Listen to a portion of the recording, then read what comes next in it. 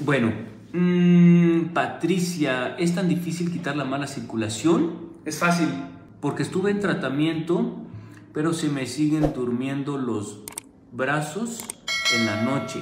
Si estuvo en tratamiento con nosotros, Patti, posiblemente faltó más tiempo, porque no se puede uno curar de un problema que lleva 20 años en 15 días. No. Hay un té que es buenísimo que se llama castaño de Indias. Búsquenlo, castaño de Indias. Hay que tomarlo como agua de uso eh, diario unos 3-4 meses. Eh, también puede venir a consulta aquí. También tenemos el tónico para la circulación. Hay muchísimas cosas que pueden tomar. Mira, Elvia Coronado Rodríguez, yo creo que ya nos, eh, ya nos conoce porque nos está dando una recomendación.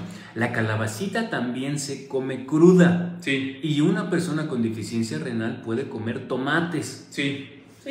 Excelente. Sí, sí, sí. Es muy bien, muy bien, Elva. Tienes toda la razón.